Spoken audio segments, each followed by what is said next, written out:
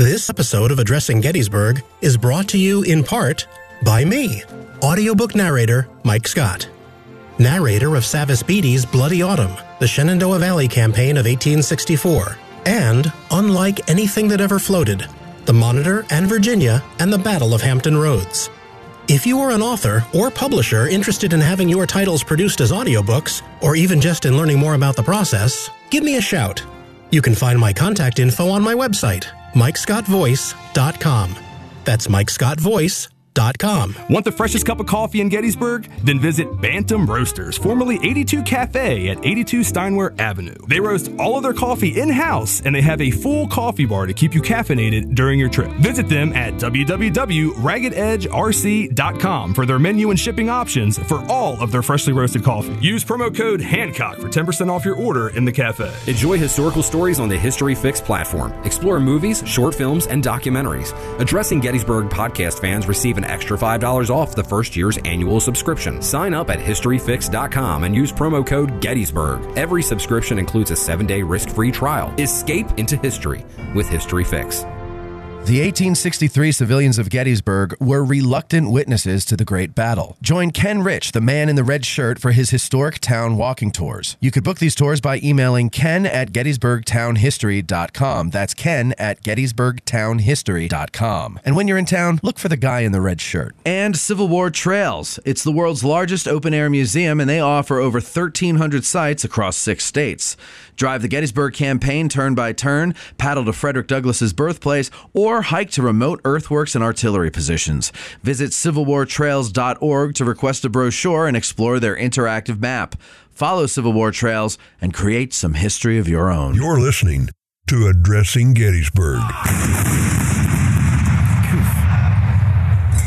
It's louder than I normally have it. Hi, everybody. Welcome to this episode of Addressing Gettysburg's Ask a Gettysburg Guide. Today, we are talking about Perry's Brigade, or the Florida Brigade, if you will.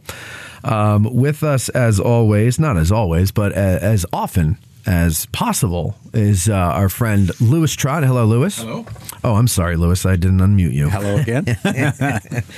And uh, Louis, we have a we have a guest with us today, uh, a new guide to the show, Kevin Bryant. Hello, Kevin. Hey, how's everybody? Uh, now, Kevin, you're going to have to make that voice a little higher so that I sound like the deep voiced uh, person here. hey, how's everybody Yeah. doing? If you could talk like Mickey Mouse, that would be uh, much appreciated. Channel my inner Bee Gee.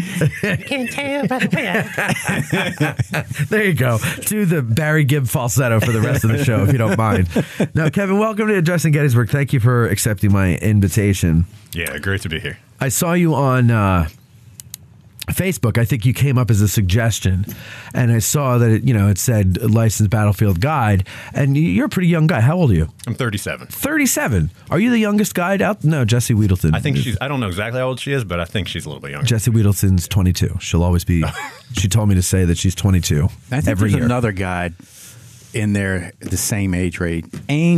Age age I range. think, yeah, I think, there is. I think there's Yeah, about yeah. three of us who are probably within that Yeah. same general area. okay, so okay, I know when I first got the license and taken into the guide room, well, folks, when they introduced me, a bunch of the guys were sitting around. They stood up and he said, "You just brought the average age down by 10 years." well, so you how long have you been a guide? got 2018. 2018. I'm okay, really close to my fifth anniversary in two weeks. very nice. Congratulations. And uh, how you liking it so far? I love it. This Yeah. is amazing. Somebody once told me once the key to a happy life: find what you love, and then find somebody to pay you to do what you love. Yeah, it's So, true. Stumbled into it. It's true because not only do you do guiding, but what else do what do you do? What's your real job? yeah, so I just do licensed battlefield guiding part time. Also full time, I work for the National Park Service down in Washington D.C. I'm one of the Good. park rangers. Down So so you're just all around is history. You're making money doing history. I love it. and I, you're and you're you're happy doing it. 14 year old me would have been ecstatic to this is the future. Never would have believed it. And are you uh, a married man, single man? I am. I'm married, have two kids. Married, two kids. Yep. Wow, 37 years old, married, two kids That's why he's a guide and a ranger. Yeah. He needs some money. That's true. And are your kids into history? or Are they too young yet? Not so much at this point. I think they're, Yeah. they're more uh, Pokemon. A Pokemon. Okay. what, what are they like? Eight years Eight, old. nine. Eight, nine. Okay. Yeah. Where are you Soon. from? I grew up in the Midwest. Oh, okay. So I lived out there for the beginning part of my life and then took off after college. Wisconsin, Minnesota, Illinois. Illinois. Okay. Close enough. Does it drive you nuts when people call it Illinois? Yeah, noisiest state in the union. It, it drives me nuts when they call it Illinois. And I've known people from Illinois who call it Illinois. So maybe I'm wrong. Maybe you're wrong. Maybe we're all wrong. I don't know. I don't know. Is it Worcester or Worcester? Depends on if you're cooking with it. Yeah, exactly. and nobody knows how to pronounce it anyway. Which I just Or Arkansas. give me that good sauce over there. Yeah. Uh, all right. And so, uh, do you uh, have you listened to the show, or you? Oh no, you have, right? Yeah, you said I've yeah. listened to the show okay. a bunch of times. All right. So you're familiar with how it goes and everything, right? Hopefully. All right, We'll 30 find out. seconds on the clock. Let's see who gets the. All right, so uh, let's get started here with uh, Perry's Brigade. First question I have about Perry's Brigade before we get into it it's Perry's Brigade, but Lang is the commander here. Perry is uh, sick, right? He's recuperating. He had caught typhoid um, after Chancellorsville. I don't know if he caught it after Chancellorsville, but the effects got him Yeah. after Chancellorsville. So Colonel David Lang is going to lead, and he's from the 8th um, Florida Regiment. But now, isn't there a brigade uh, over in uh, is it Nicholls Brigade that is actually Hoke's Brigade, but we call it Nicholls Brigade? Am I? What am I thinking? Over in Johnson's division? Yeah, yeah, yeah. Right, So generally, when I'm talking about this, I always say Lang, hmm. Lang. because he's the guy on the. but but but it seems Yeah. that like technically we refer to it as Perry's Brigade, but Perry wasn't here. Lang was in command. Yep. But then with Hoke's Brigade, Hoke wasn't here. Nicholls was in command, but some I see it sometimes both or no, I see it as Nicholls Brigade. It's like Avery. Isaac Avery was the temporary commander, Right. of that brigade. Of Hoke's Brigade. Yes. Okay, I'm confusing Nicholson. yeah. Okay, thank you for And correcting me 20 minutes into it. I I always just go by who's the guy here. But that's what I'm saying is who's the guy here, right? Lang. Uh, Yeah. Right, but it seems with I guess what I'm saying is we it doesn't seem that this is like uh, the the the uniform rule that we name it after the guy who was here with Perry's Brigade because I I see I it often referred to Yeah. as Perry's Brigade. Yeah, yeah. Whereas I rarely see Avery's brigade called Hoke's Brigade. Yeah, yeah. We always, Even though I think on the plaque it's Hoke's Brigade, isn't that right? but that, yeah, that's an official plaque, though. Right. Yeah, yeah. So I what's could see Perry's why the- brigade? The, government would do that. I do too. What's Perry's brigade on the plaque? Is it Perry or, or Lang? Perry. Probably Perry, but we don't know. Yeah, I you know? can't remember. I think it's Perry. It's Perry. Yeah, because it's the official. All right. Right. If you're following the order of battle or things, you're using the official names. And otherwise, for us, just when you want to sound impressive, Right. show off. Okay. It's David Lang, but do you know whose it really was? All right. So if the audience, if I if I just confused you, now you know how I feel. Okay. Okay. I'm confused. All right. Give us uh, a little bit of a background on Perry's brigade. Whoever wants to go, I don't care. Doesn't matter to me. Go ahead, Kevin. So Perry's Brigade's going to have its foundation as it's being formed 1861. Perry's going to be leading things forward just the second Florida. Okay. It starts off as just one regiment. They're going to serve full year or so, and then in the events after the Seven Days campaign, others, you get additional Florida regiments that are joining the fight coming in, and they merge together into a brigade. But it's not what we know as the Florida Brigade initially. Okay. They go together into a guy named Pryor. Uh-huh. Serve together in Antietam, events like that. so they're added to Pryor's brigade. In other Yes. words. Okay. with a couple other states involved. right. Right. Yeah. It's not. So they're not fully Florida. Starts off just that one Florida, the second, and then you get the fifth and the eighth in addition to other states joining, and then it's after Antietam, the Florida Brigade, as we're going to know it in the Gettysburg context. Mm-hmm. Yeah. Uh, Okay. The second, the fifth, and the eighth. So they're separated and put under Perry after Antietam. Right. Right. Got it. All right. That's the show. There we go. All right. So then, uh, Antietam, the Fredericksburg, are they involved in Fredericksburg? Yeah, they see a lot of conflict across Okay. those first couple battles. Take a lot of casualties? They take the most at the Seven Days campaign Okay. from about May 1st through July 1st of 62. Just when it's just the second alone, they're going to suffer like 400 casualties. Wow. And they're never that big to begin with. Right. So, but they're just getting thrown in. Yeah, because they're really tiny when they get here. They're like the Irish Brigade About of the Army of 700 Northern soldiers Virginia. when they get here. Yeah. Yeah. Yeah. and they've just they there's a quote and it's it's after um, the third day I think where a Union soldier finds a, a wounded Florida soldier out by the Emmitsburg Road and he comes upon him and the, the the guy's probably dying the Florida fella and he starts bemoaning the fact that whenever General Lee needs anybody he always calls for the Fifth Florida and throws them in. Oh, really? So yeah. Huh. All right, and so uh, why did Lee have a problem with Florida? What was so? Why did he always, were they just I- that good? I think that's what that soldier thought because Ah. he's always in combat and they're always losing men. Right, It's just okay. a perception he had Yeah. from his own little world. And think of the track record of what he's seeing there too. Seven days, they're so mauled up, they're not even being used at Malvern Hill. You get them then Second Manassas, the one case where they're kind of sitting things out. Antietam, they're right there diving into the sunken road, suffering massive casualties there. You've got them pushing forward in Fredericksburg. They're right there guarding kind of the pontoon bridges. They're some of the first to get cut off after they're- surrender. And that they're down there with the Right. Mississippians. Yep. You know, trying to keep the Federals from coming across the river. Yeah. All right, and so uh, so Chancellorsville, what what goes on with them at Chancellorsville? Yeah, so when Lee's going to split the army, send Jackson over to the left, uh, Florida is basically the right end of the line there. They're a big part of that effort of making sure the Federals don't do anything. So they got to keep So they're the holding force. over and over. They're the holding force. Yeah. Okay, yeah. Yep, They're going to suffer more in that role too. So when this guy's saying General Lee's always putting us in the front, it's sure kind of looking like Yeah, it feels like it. right? Yeah, I can see Especially that. in light of what we know is coming here on these days in Gettysburg. Do um, uh, what, what did they? St- you said they weren't a big brigade when they started. How many were they roughly? Do you know? I can't. Yeah, I don't know the, the figure, but I know they weren't that big compared to some other states. Because I mean, they were three regiments. I mean, were the regiments close to full strength at any point, or Yeah, was the I population of Florida The not second that big? Actually had twelve companies, um, and I think the eighth, when they joined, they have eleven companies. think so, I think that. Yeah, so they've got more than um, the standard ten companies, but I don't. I'm not sure that they're all full strength. They just never seem that big. Um, and some of these troops are from Georgia. Like Lang is from Georgia. Hmm. He went to Georgia Military Institute, um, and then he joins in the war effort. So, and then Perry is from Massachusetts. really? He went to Yale, um, and then he's a lawyer down uh, in Florida when everything breaks out. So he's So a he Legion. stays. Yeah, and he marries somebody down there. I think. Um, Yeah, I've seen some figures that say only about one third of the regiment's actually native Floridians. Yeah. or, Uh-huh. one- or the brigade rather. Was Florida's population that large at that point, or No, because No. the southern end of Florida Nobody- is, I think, is a lot of wilderness and stuff. A lot of uh, the first soldiers that joined the brigade come from the Panhandle area over to the east. Okay. Um, there was a big recruiting effort. They showed up at Disney World, uh, handed out leaflets, but everybody was having so much fun. Ah, no, I'd like the rides. I'd stay here. I hope you don't mind. I make Jeff. Oh, good. No, They're not- Florida's got the smallest population in the whole Confederacy. Yeah, And it's It's not because of that close. the southern Close. southern portion is just you know wilderness. the swamp and wilderness, Yeah, and yeah, yeah, and alligators. not as populated as the rest. Okay. All right. So, uh, uh, no, okay. What is the name? Okay. Yeah, yeah, yeah. Okay. Let's get to Gettysburg then. How do they get to Gettysburg? What happens when they're at Gettysburg? What do they do on the first day? Are they fighting at all or? Well, before that, I think we go back Oh, sorry. Go ahead. when Lee has to divide his army up into the three. Because Yeah. I think this plays into the story, a part of the problem. All right. Go ahead. especially on the second day. Lee divides his corps up into three different corps. He's got two new corps commanders, A.P. Hill and then Richard Ewell. Uh huh.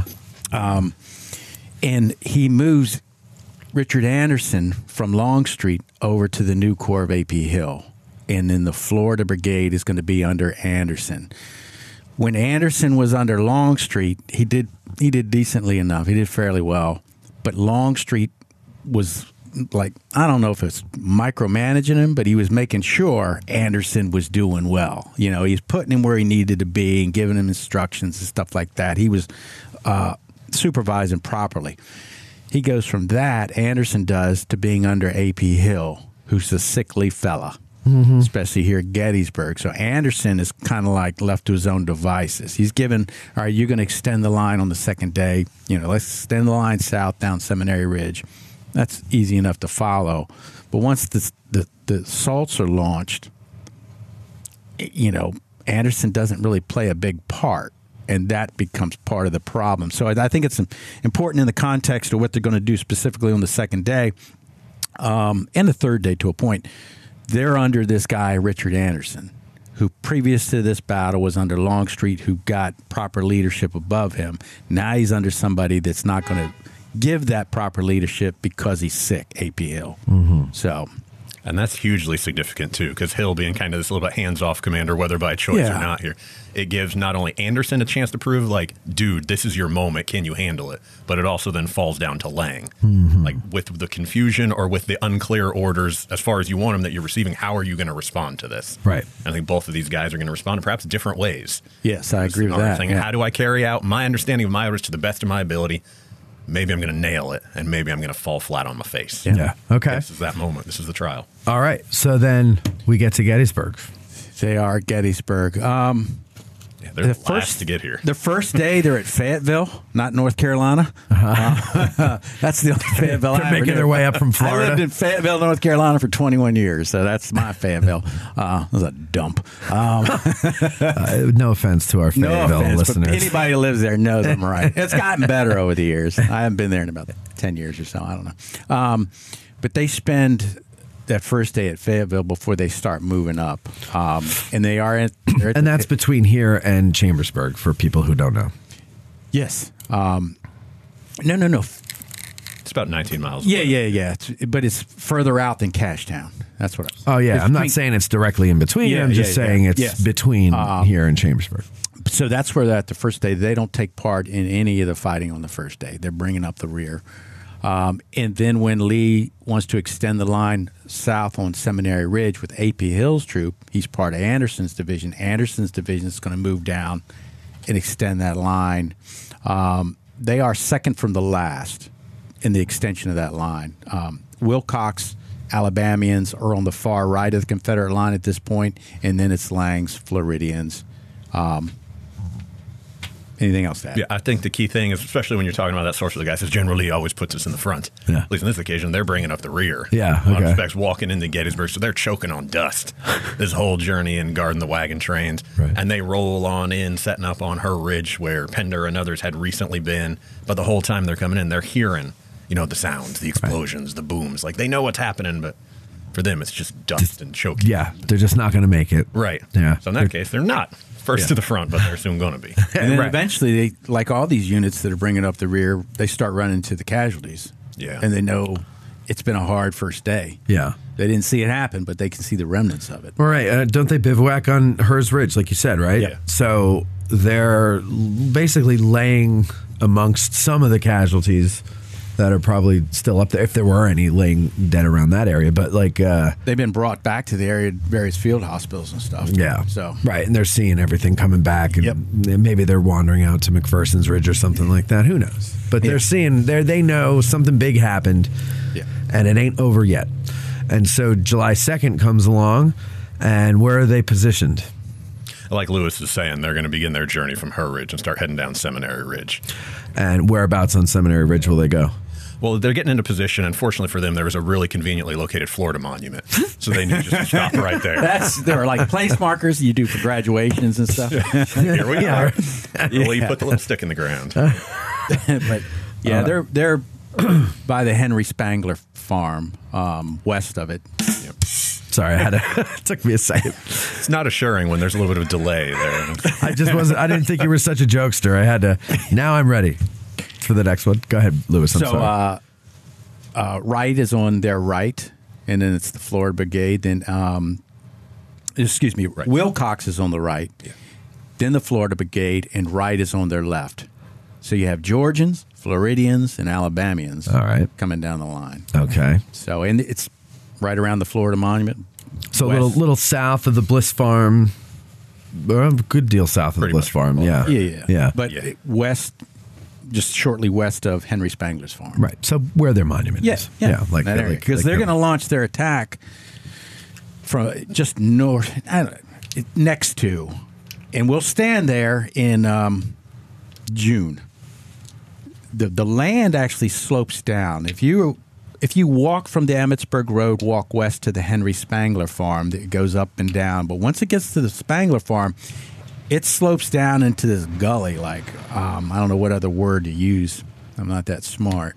Um, but when you stand there, you cannot see the Emmitsburg Road, and they're in that area. When they launch their July 2nd assault, they cannot see the road in front of them. So the Emmitsburg Road. the Emmitsburg Right. Road. So they're there. Again, to their left is uh, Wright, and to their right is Wilcox.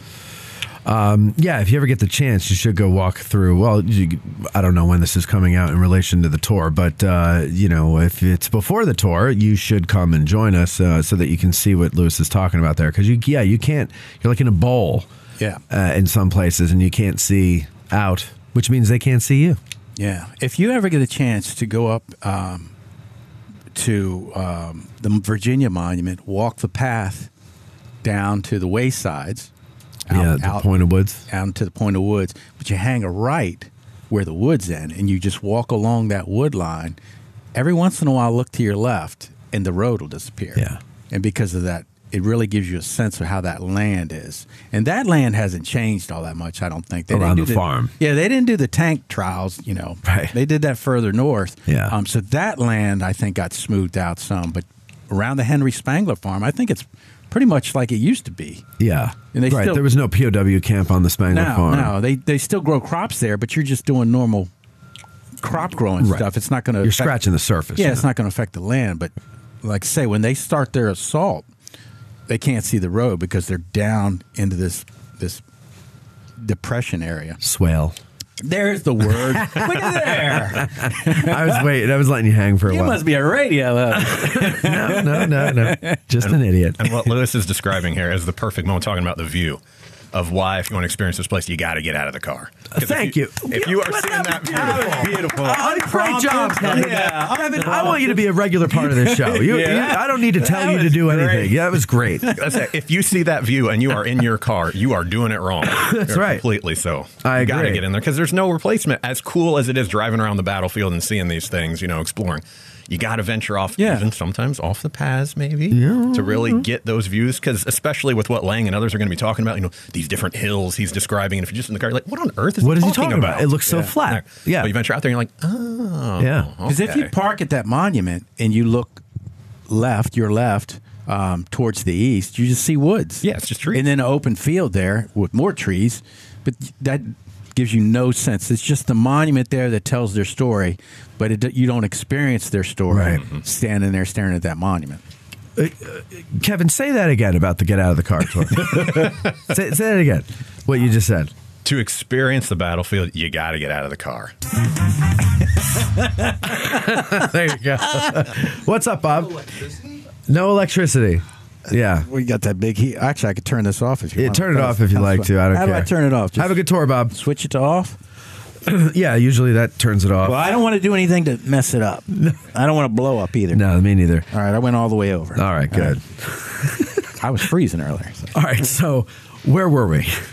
Uh, where are they at on the second day? I'll, you can take it away. I put them, Oh, put 'em I where they're supposed to be. joke. So I was gonna say, you're sitting here saying you don't want to blow up, and that's what's going to happen. Yeah, that's where they're at.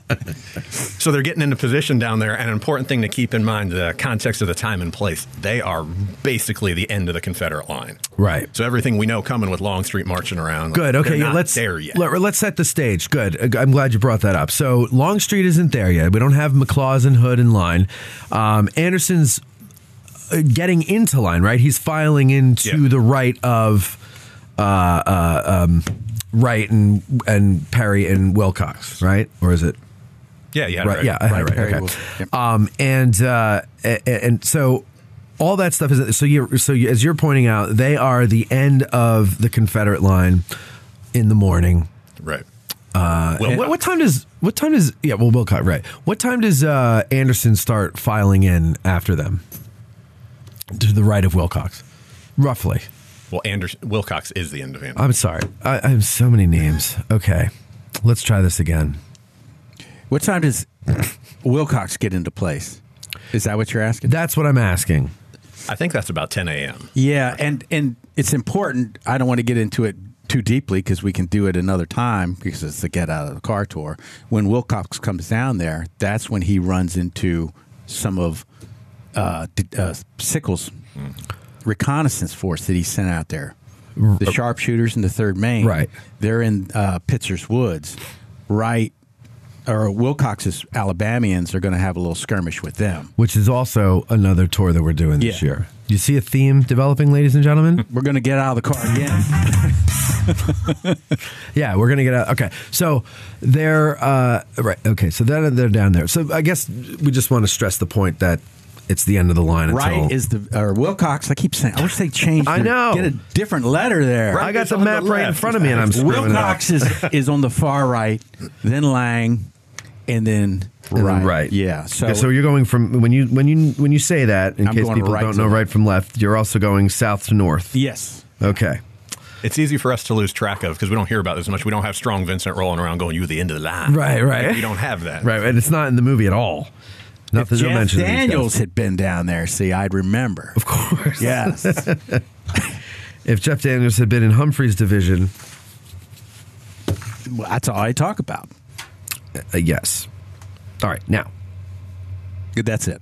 Okay. About ten o'clock. Yeah, like you Yeah. said, it's probably about ten o'clock. All right. And that little firefight's busting out, like he's saying, with some of Yeah. Sickles' foray things. And Lang at first is being told, you know, you go bail him out, you know, go, or you might need You might need Yeah. to, yeah. to get over there. And and then on the That's- way, he gets notification. Yeah. Nah, we don't need you. Nah, it's all good. Yeah, it's no big deal. All right, so um, so what else then? Uh, there, Sickles' line is forming uh, eventually, uh, and and Longstreet is moving his men down, and that fighting is going to take place. Do Wilcox, Lang, and Wright, do they have orders to join Longstreet's attack at all, or are they just going to sit there as spectators? So Lang is at first ordered to throw some skirmishers forward Yeah. and just kind of cover the front area, but I don't know if it's exactly clear how well uh, aware they are of the broader battle plan for that day, but eventually becomes clear this in echelon attack is going to be taking shape. And Lang's instructions are basically whatever Wilcox does, do that, just do it a little bit later. Right. He gets a weird o- order saying that you're to, I guess, I forget the wording, like coordinate with Wilcox or something like that. Yeah. And you'll receive no further orders. So that's, on the third. day. oh, that's the third. Yeah. okay, I'm jumping ahead. All right. Never mind. I'm sorry. I'm so sorry. But that does kind of connect a little bit with the second, though that specific order is the third. Throughout this whole thing, you've almost got like this one super brigade, in a sense, operating. Lang and Wilcox are really well connected, even if not administratively. And this, because there's some ambiguity. I can never say that. I always try, but ambiguity to the to what they're supposed to do. You compare that to Longstreet, and it takes them a while to get in place and all that. But once they get into place, the way Longstreet launches those brigades with depth, that's what smashes Sickles' line. Yeah. And if you, if that active participation of leadership is carried north on the Confederate line, I think they could carry the day. Um, who knows? You know, it's hindsight looking back. But if you look at Longstreet and his, he didn't want it to happen. But once it gets going, he's all in. He doesn't do anything, in my estimation, wrong. Once it gets going, when, but when it goes up, the next division commander is Anderson. Longstreet's not taking charge of Anderson like he is his own division commanders. AP Hill is who knows where, but it's you know the orders would have been given to Anderson. This is what we want you to do, and he would send the, the instructions down to the brigade. And I don't think he does a very good job communicating to his brigade commanders um, what they're supposed to do. There's some reports he gets the the the Pickett treatment that happens the third day. Where is he at? Nobody knows. You know, he's back in the woods doing whatever. Um, same stuff they said about picking on the third day, but um, it's the, the the orders are sort of vague about what they're going to do, other than stay on the left of Cadmus Wilcox's Alabamians, support them, and then come in on their left. Then would be Ambrose Wright's brigade. So Yeah. I think, like you're saying, this is Richard H. Anderson's chance. yeah, kind of show what he's got that medal that he may not have received directly clear orders specifying all the details, but that's within some of his prerogatives to still make the movement forward, make it happen, and maybe it starts great on his right side, but as things are maybe trickling over to his left, like saying he's getting this Pickett treatment, supposedly according to some aides, you know, he's just hanging out, you know, in this little ravine behind Seminary Ridge. You know, who knows if that's what's really going on? Right, having But I a was like, yeah, Yeah. he's just enjoying, you know, the old shad bake. Sitting there going, I wish they had Shad up here. yeah. So uh, now, I just want to go back to something. Uh, so, you, do you not consider the Confederates to have carried the day on July 2nd at all? No, No. They captured useless ground. True, but they well, it, They didn't- it's not useless for artillery. Well, it's not The great only either. spot they ever capture is the peach orchard that they can use again. Devil's Den is useless. I think um, Little Round Top would have been mostly useless with the six corps coming up behind that. Sure. They they put the peach orchard to use, and that's it. but they but they have well, Maybe you can say if they're more aware of what's going on, but they're at a disadvantage still over on Culp's Hill when they get into the, the, the entrenchments down on the southern portion of the hill. But even then, they have no artillery support over there to support anything Sure, further sure, yeah. on. But I think I mean they're but I guess I see I consider it like half of carrying the day because they're squeezing in a little bit on the Union line. They're closer, you know, the Devil's Den is closer to the Union line than the Emmitsburg Road is or uh, Warfield Ridge is. Um, so I mean, and and they've inflicted tremendous casualties. They've basically had- made the third corps useless. they've had tremendous casualties inflicted upon them, Sure, sure. and they can't afford it. That's a good point. Okay, I just all right, okay. Almost is not good enough for the Confederates here at Gettysburg. Right. It has to be, the- you know, almost on the first day. Uh, no, I, I see what you're saying. Almost as good if you've got enough reinforcements to exploit the almost to make it a, a total a total Yeah. win. And while But he doesn't have that. No, he has one fresh division after the second day, whereas the Union has a full, the biggest that they have full core, Right. Basically unused. They're just wore out for marching over thirty miles, but they're they haven't suffered any casualties or anything. You, they've got a lot more held in the tank than the Confederates do come day three. All right. And Forget I I, think what said you're it. saying, Matt, is kind of in line with what uh, what I imagine Robert E. Lee's conviction is by the night of the second.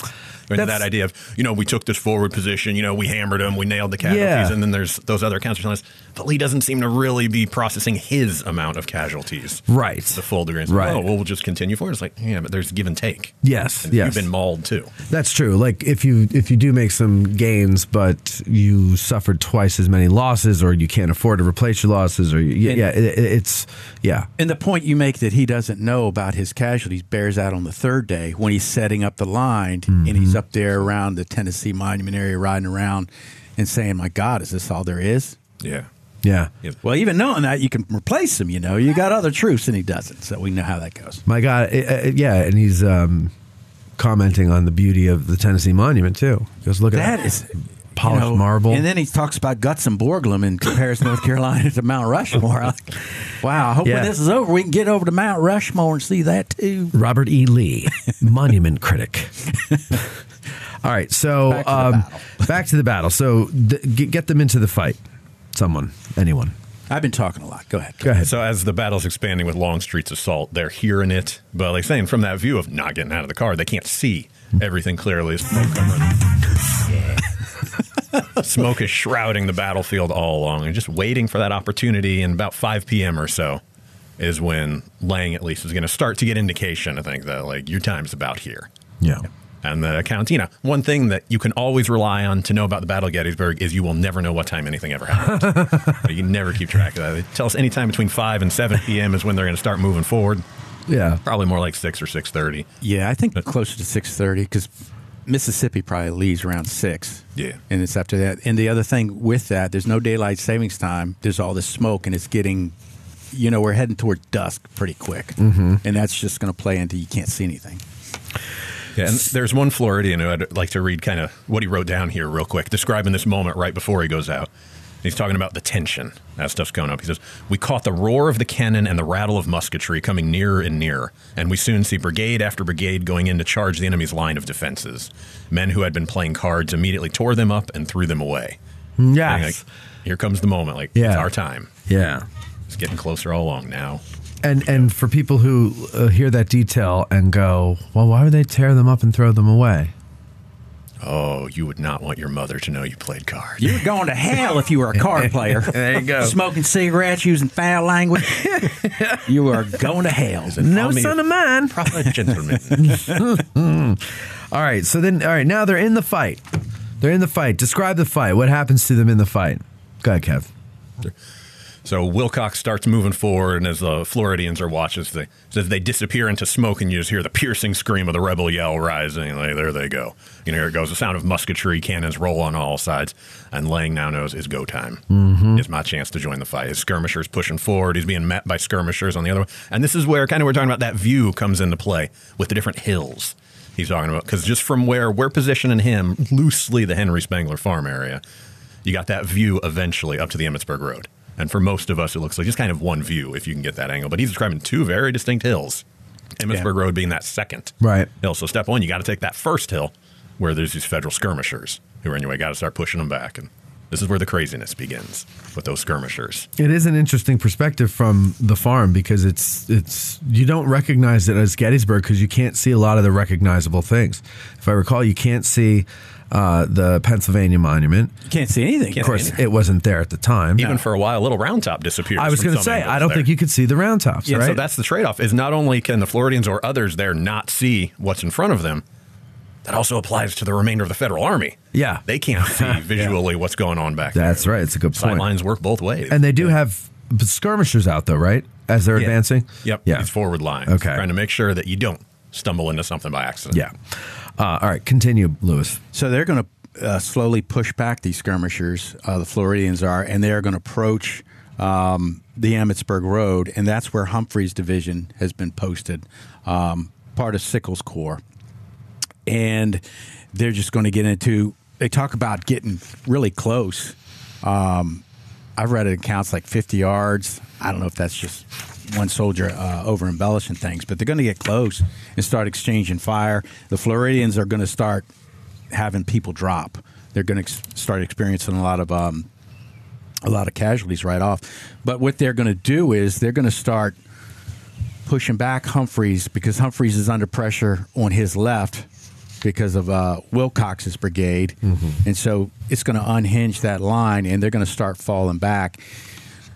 The Floridians then are going to overrun some cannon that is going to be there, and that the, the Federals haven't been able to um, get their their horses, uh, their cannon mounted up and gotten out of the way. So they're going to start overrunning some cannons, specifically Weir's battery, and that has moved from south from the Codori farm. But as they come up, even Thomas's battery is up on Cemetery Ridge, and they're just going to lay into um, the Floridians. They're going to take a lot of fire. Um, because by now the, the, the, the infantry, the federal infantry, has moved out of the way. They're just going to take, they're going to get decimated by this uh, this battery up there on Cemetery Ridge.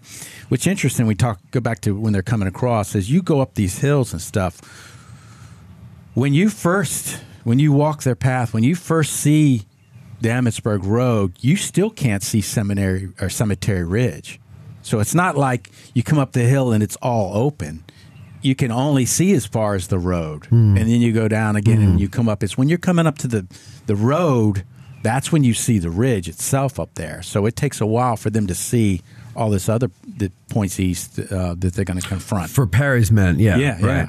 So, and we'll see that, you know, again when we do our tour. But you, just, it- it's not like they come up on this hill. Oh, there's the road, and there's this ridge behind it. Mm-hmm. It's the road, and you can't see beyond it. Yeah. And you got to go further. So, if you're if you've got the Lena book and you're reading along with us, like we're on 262 page. Where are you? yeah, I'm 260. 260, 262, somewhere Yeah, around in there. 260 is where it starts, right? Yeah. With this guy. All right. So just to give people an idea. So, um, and and when you're talking about the battery, so Weir's battery was at the Codori farm, and they were moved south into that area. They're moved they're southeast, more or less, yeah, to right. get out of the way because um, because the Confederates are pretty close to the farm. Wright's brigade is coming on. Yeah. Um, so he's trying to get him out of the way. He's gonna. Weir is going to leave the field, and he's going to leave three of his cannons on the field, and the Floridians are going to get there. I say capture with quotes because they don't pull them off the field. Right. Right. Um, so, you know, you occupied that space for a little bit, but you didn't actually capture the cannon. Now, on the Union side, Barksdale is charging through there. Hancock rides down. He gets the first Minnesota to go in against them, try to stem the tide. Um, Willard's brigade is going to move from the Ziegler's fa- um, farm or um, Ziegler's Grove area down south, and he's going to throw them in to try to stop Wilcox. He's going to move. The, the 19th Maine is going to come down and they're going to be the ones, the primary Union infantry that's going to be blocking the Floridians as they're coming across. Um, anything to add to that? I just want to add into the context of what you're saying that talk about how they pierced through that line to begin with and what's going to lead to that pandemonium is you've got along that Emmitsburg, you got Barksdale crashing in, you got Wilcox crashing in simultaneously with the Floridians, but then you've also got this issue with the First Massachusetts out there, who's going out deployed as this line of skirmishers, and as they're falling back, Carr, uh, the brigadier general, the the brigade commander, excuse me, is going to be watching these skirmishers fall back onto his line in the road, and I think this is how we get to that point where Weir and others are so surprised because when the Floridians are advancing on him, he thinks it's his skirmishers falling back. So he's telling his units not to open fire, you know, there. And then by the time it's clear, like these aren't our buddies. It's these Floridians open fire on them, pouring it in that causes that break and then the collapse and the withdrawal, taking Yeah. into where I think Weir and others would have thought they had more time than they do because you got a little bit of a blunder. Yeah. that stumbles in in the course of in this process and allows the Floridians to spill over the road. Then where they attempt to see that line reforming, and then you just open volleys on it again. It's fully withdrawn, and now Weir's like, "Oh, I'm the front line, basically. Everybody else is streaming past me, Right. Okay. and all that Confederate pressure, and, and you know, it's like a dam. You break one little spot on it, everywhere else is going to start to cave in with time, and now you got what's left delaying. You got Wilcox still searching. You got Barksdale doing his thing, and eventually we're going to have Wright joining on the side. You need everything you can get. First Minnesota. You need Willard. You need the Yeah, uh, and this the is, Maine. this is the spot I think in the big picture. If there had been more active Confederate leadership at the division command, especially when Pender goes down, nobody really takes over, um, and it really peters out that end of the field. But they're getting there. They've crossed the Emmitsburg Road. Wright is coming on. To Wright's left, Posey's men are supposed to come up, and only one regiment really comes up to 48th Mississippi. Um, but Wright will complain afterwards, and we did that tour last year where they get up there to the line, and he says they see the whole. Maybe it was two years ago. I'm losing track. Um, yeah, it was two years ago, Yeah. the last one, because uh, Bo Brinkman. Wright's brigade. Yeah. yeah, Yeah. And he sees the whole Federal Army. Um, he complains afterwards that he doesn't have support on his left or his right.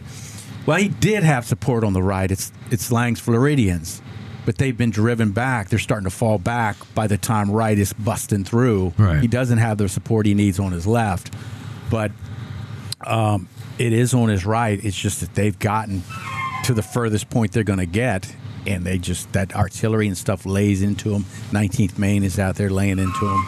They they're spent.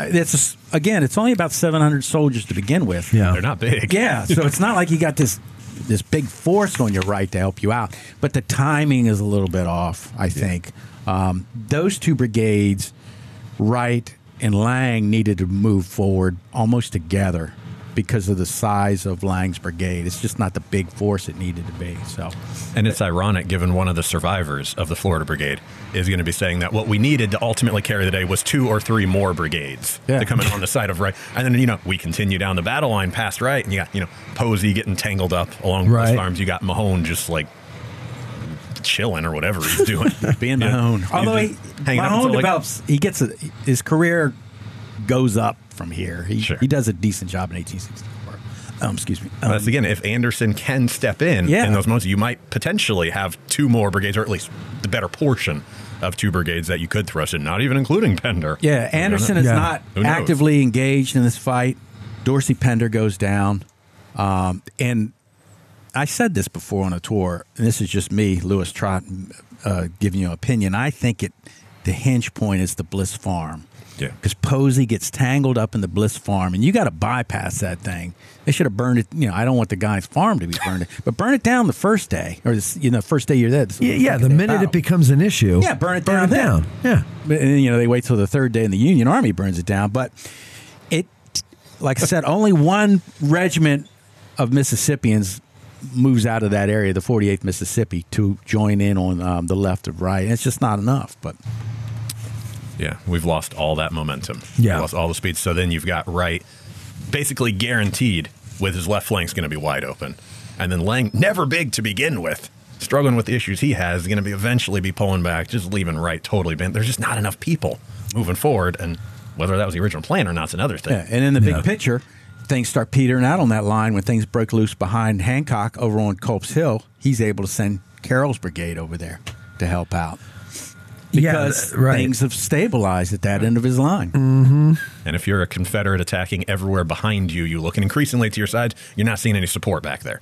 But what you're three, seeing through the smoke and the chaos in front of you, there just seems to be these endless pouring amounts of federal reinforcement, even if it is just you know a couple hundred guys from Right. Minnesota. And like you don't have the context. This ain't a video game. You can't Exactly. hit the pause button and go thirty thousand feet and see where everybody is on a map. Yeah. Right. Like you just see, okay, they're advancing. Ain't no 200 plus guys who's going to be advancing into that on their own. Right. This is the reinforcements, like batteries lumbering in at full speed here. Like we in big trouble, and we got no help. They're getting thousands rolling in. Even if we know as students of the battle, that's not what's That's happening. not what it is. They- Right. At the, at the time, they don't know. yeah, you have a split second to make life and death decisions. Yeah. and in that split second, are you, how much? How much are you going to roll the dice? Yeah. and, that And how much can happen to you while you're taking that split second to decide? Say, let me just not load my gun for a second. Let me just kind of take in this, see what's going on. Check, you know, check my flanks, look behind me. It's like, oh, that's climb a- up on a buddy's shoulders. Yeah. and see how like Oh, I like what they did People with the dying. shutters on that house. I'll have to take a picture for my wife, show her what we could do to ours. every second out here is crazy, is chaotic, is smoke filled, is disorienting. The heart is beating out of your chest. You're, probably, you're just tasting gunpowder everywhere. Mm. Nobody is thinking at the absolute tip of what you know. Any of us sitting here in this room, you know, comfortably, we're thinking as we're sitting at home, like it's really easy to jump on people's yeah, backs. sure. And you know, none of us have bullets flying at us. No, we don't. So, all right. So then, what happens? Does uh, does Lang get surrounded, or do they attempt to surround him, or They don't. Um, they don't get surrounded because Wright's brigade does come up and goes further than them. So it's just a matter of they take so many frontal, so much frontal fire that it decimates them, and they realize we're not going to make it. and yeah, and then you mentioned Weir, but also you mentioned Thomas, um, not too far away, firing basically into their faces. Yeah. Um, and by and- then it's canister.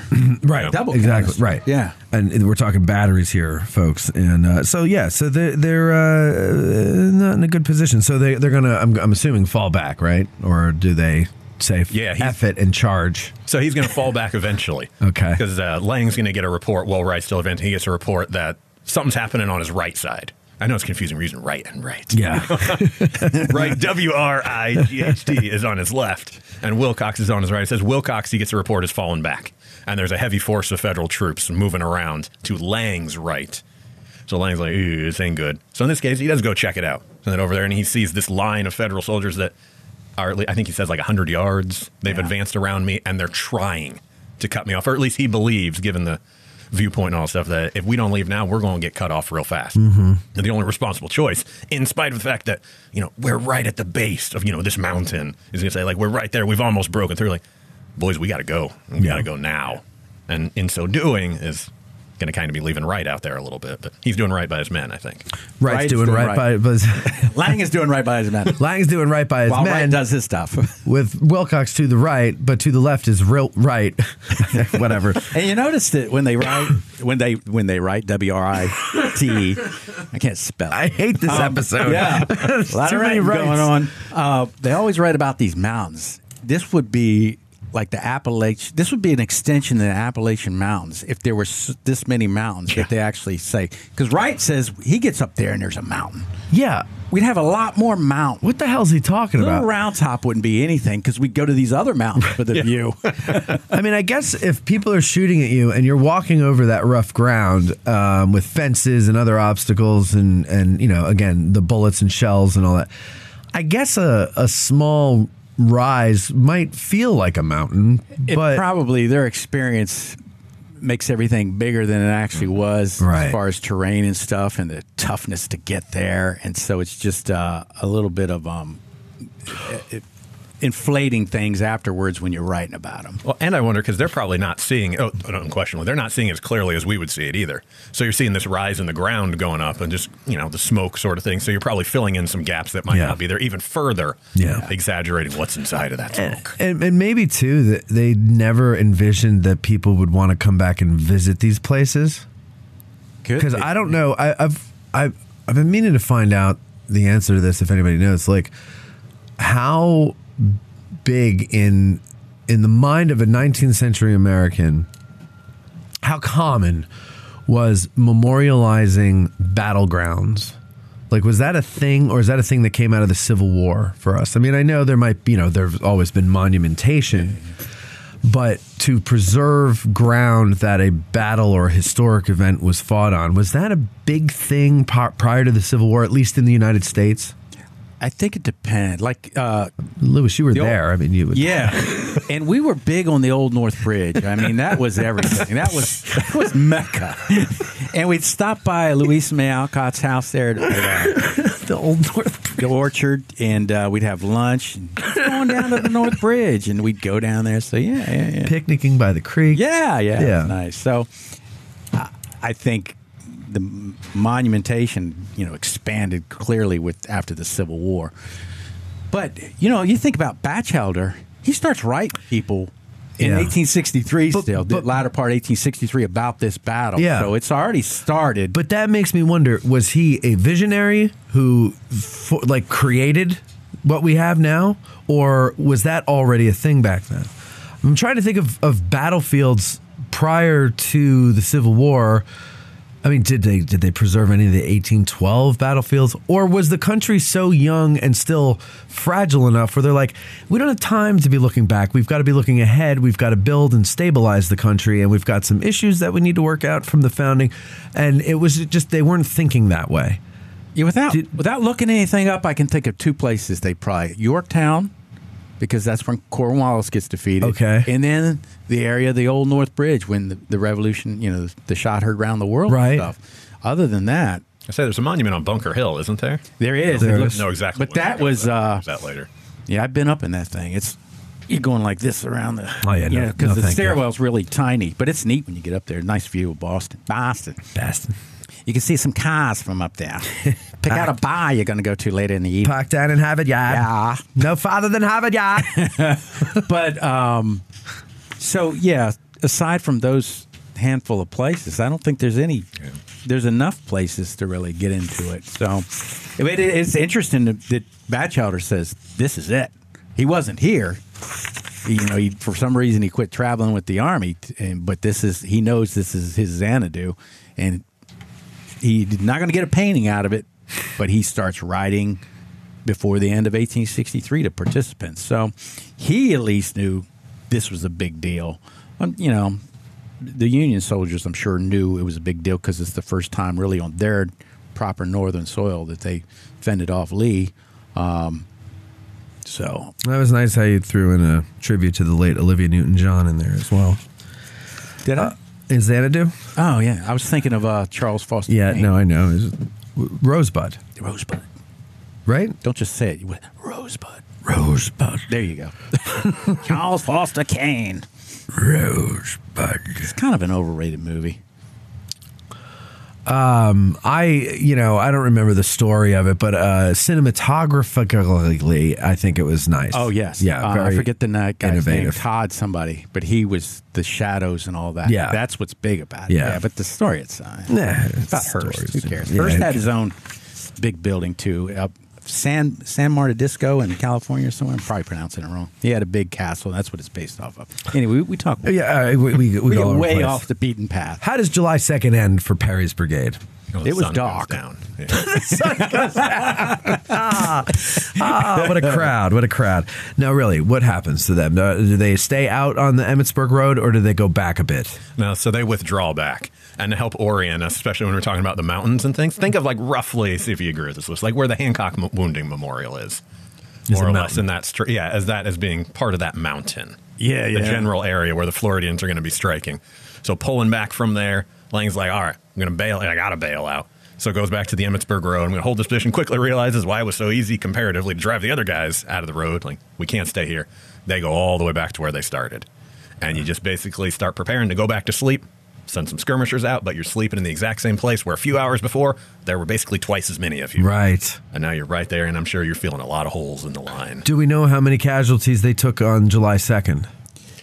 There's number estimates, but they're all over the place. But nobody On really probably has- Between 40 to 50%. Yeah, because at the the, end of two days, it's about 450. Yeah. out of 700. Yeah. so Yeah, Lang reports 455. I think there's, you know, as with anything, like Yeah, times yeah. and stuff, numbers are.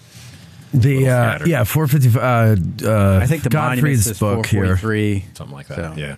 Godfried has it at the strength of 742 and losses of 455, uh, 61%. Yeah.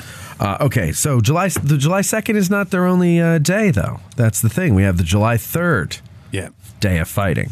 So what happens with uh, Perry's brigade on July third? And and this is when you have the ambiguous uh, orders that we previously referenced. When Lang is told, he's not told anything to do specifically other than get with Wright, or uh, excuse me, Cadmus Wilcox, who's going to be on his right. Uh, let's leave Ambrose Wright behind. We're not going to talk about him for t- the, the third. So it's Wilcox and Lang. Um, Lang is on the left of Wilcox, and he's going to tell him, uh, Anderson is going to tell Lang, Wilcox has your orders. Do what he says. Because by now they are, they're such a small unit. Uh, It's hardly a brigade. You can we will call it a brigade. That's how we know them, but it's not a brigade. It's like a large regiment. yes, yes. Um, When so- they come in, they're smaller at the start than like a 26 North Yeah. Carolina is. Yeah. They're a Yeah. full brigade. yeah. yeah, that's a good point. Yeah, So he's he's basically attached to Cadmus Wilcox Alabamians, um, and you're under his control now. So you follow what they do, and you know what direction he gets from Wilcox is sort of vague to me, anyways. Um, but they are told when Pickett goes in, you go in on the right. You know the the way I read it, they're supposed to go past them. Pickett's men on their left. Once they go in, you go in on their right, and you take advantage of whatever success Pickett has had. What throws them off is Pickett's division has been told to close the gap with Pettigrew, Pettigrew and Trimble's brigades. So they're going to have to oblique to their left to close this gap. It's Archer's brigade under uh, Fry on the far right of Pettigrew and Trimble.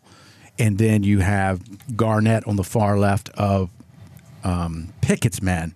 But there's a gap between these two forces. The plan is to close the gap by the time you get to the point on Cemetery Ridge. To do that, Pickett's men are going to have to oblique to the left, which takes them away from Lang's Floridians and Cadmus Wilcox's brigade. So another this other gap develops between these two forces, Pickett and Lang and Wilcox. So regardless of what Wilcox has been told to do, follow in on their right and exploit whatever, it all goes haywire because Wilcox doesn't realize that Pickett's going to have to oblique to the left, away from his force.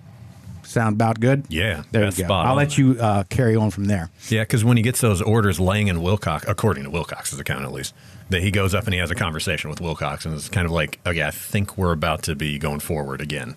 Those thing it says, if we're ordered to do basically the same thing, like, what are you going to do? And Wilcox is saying, oh, well, I'm not going to do it. Yeah. But what if it's absolutely imperative? What if you have to do it? Right. Well, then as a soldier, I will obey my orders. I will do it under protest. and so, at least according to what Lang is telling us, he's got this understanding from the guy who's now in charge of him, more or less, that we're not really going to do this with any alacrity, if we even comes to that at all. So I think when the time comes, I think Lang's a little bit surprised hmm. at that movement because going forward, you're going to be this support, maybe you know, swinging in in some way, shape, or form.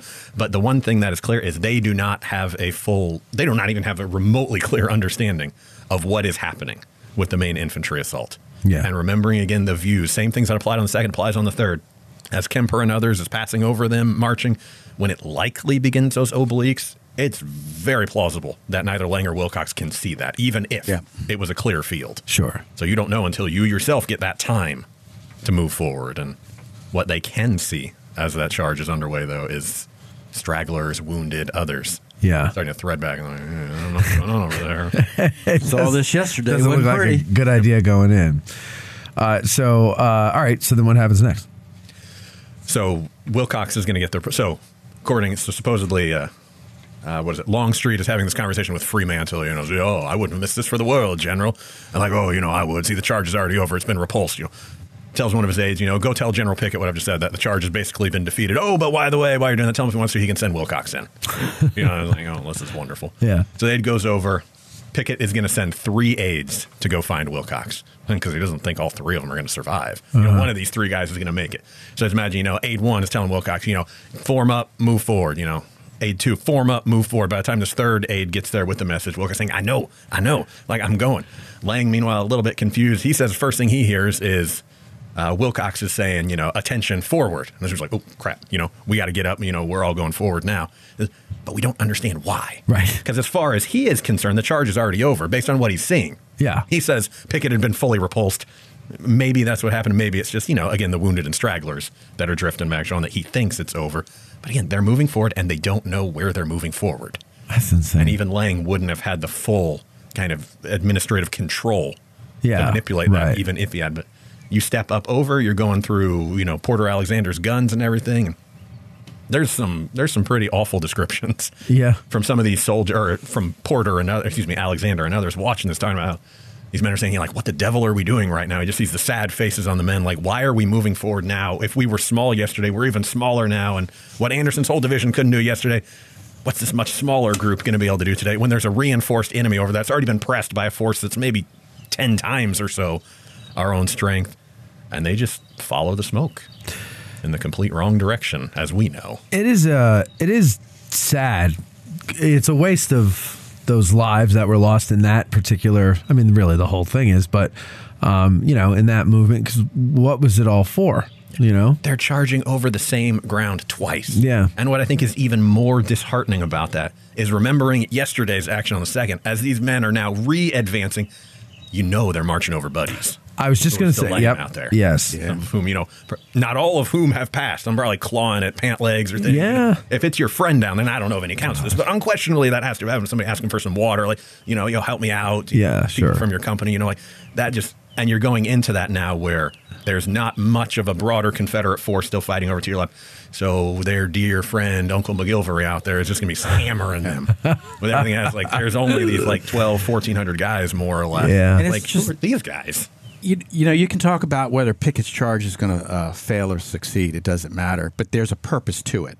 We want to get there, punch a hole in the line, hang a left, go get that hill. All right. So there is this purpose. Uh, Wilcox and Lang's movement forward seems to be purposeless.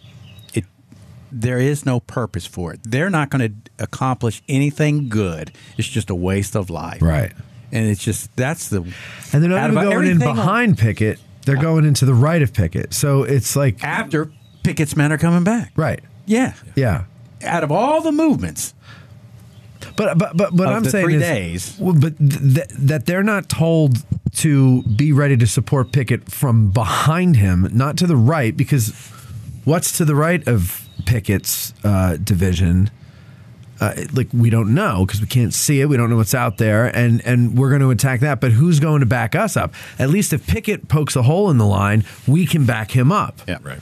But that's not what they do. So it's an even bigger waste. Is you're, you're going off to the right. Wh- wh- What's at the right? It's so tragic. It And is I, tragic. I think out yeah. of all three days, this one little event is probably the, the most purposeless event of units moving, getting destroyed with no purpose in mind. Yeah. Really. Yeah, because you can compare it to something like similar scenes of madness, like sometimes like South Cavalry action or things. You can see that are they're going trying on. to do something right? But at you can see Yeah. if ever, even if it's got like a one percent chance of success, if that somehow pans together, like there's a little bit of logic in that, even though most of us would see it's pretty jacked up. Occasionally, like, Yeah. what are these guys going to do in the best case scenario, other than maybe just maybe just Longstreet being like, all right, Lee told me to make all these orders, send these units in, so I'm just fulfilling that order, Yeah. and sending the last kind of wave, if you want to use that. Yeah, and that's what it kind of seems like. Is Lee's like, yeah, we're gonna go do this, go do it, boys, and then Longstreet or whoever follows the order, carries it out, and it's just slaughter for no discernible purpose. Like, they don't it- you have know. any artillery support. They've Right. got McGilvery in front of them. By now, Pickett's men are falling back. So the 16th Vermont leaves them and directs their attention to Lang's left flank. Yeah. And so they're taking fire from Stannard's men. Um, and there's just there's absolutely zero percent hope from I the get go. I wonder what those Vermonters were thinking in that moment. You know, they're wrapping up prisoners and things at Pickett's, and then they must have just like turned around, see the guy lumbering over the hill. Two for one sale. What like special boys? And you wonder too if there's kind of that moment of like where they maybe felt sorry for him. I bet they do. second, that's like, I bet they like, shoot I know and- what we got to yeah. do, but like, you guys got no chance. right? Yeah, Yeah. we'll just pivot right around. You're going to get hammered by literally everybody. Everybody, you're gonna get all that artillery on you. And the average then- soldier, again, you know, just right, left, right, left. You're plowing forward, and suddenly those shoulders next to you give way. gaps in the line popping everywhere. Yeah. you're just venturing forward, and you're like, didn't we just do this yesterday? Right. 24 hours ago, we did this, except there were twice as many of us. Yeah, more or less. Right. And we're the only ones that remember how stupid it was, but the people ordering it uh, clearly uh, didn't get that memo that it was a stupid move. And a lot of them too, remembering the ground, they wouldn't have necessarily been able to see possibly that point of forward advance, at least regularly viewed, Yeah. unless they're moving significantly forward. Yeah. That we're just, you know, we are soldiers, we obey, we follow the orders, but But but you're still human beings, and you must feel you know the futility of, of that, and feel like your leaders just think your life is completely worthless. I mean, that's got to weigh on you somehow. I would imagine. morale is so much Yeah. of what these soldiers are having. And I can't imagine there's much of anything left. No. Um, and what is left of them when when it's all said and done? Do you mention the Vermonters coming out and after they flank Kemper and they're wrapping that up, they go and flank uh, Perry's men. Yeah. And then how does that end? Oh, they're trying to get out of there by this point. They're trying to fall back. You know? Now, is it an even or uh, an organized uh, falling back or retreat, or do they just like see guys on the other side? Because side? they scattered out of desperation. Yeah. They get in that area, like the Organization Codori lost. Trostle thicket. Lang even says, like, his men scattered out amongst the bushes and the rocks. Like, Yeah. you're taking fire from every direction. Jesus. And you are pinned down. You got Vermont coming in on your side. You got McGilvery and all these units pouring into your front. In this case, you don't have Ambrose right on your left today. You don't have anybody covering you on any flank. It is just you all. And so when Lang, or excuse me, when Wilcox and Lang are ultimately going to begin withdrawing, because they did that, we don't, we can't get the message to everybody. Yeah. Mm-hmm. Mm-hmm. Especially those guys on the left, which are Floridians in this unit. They are being savaged over there.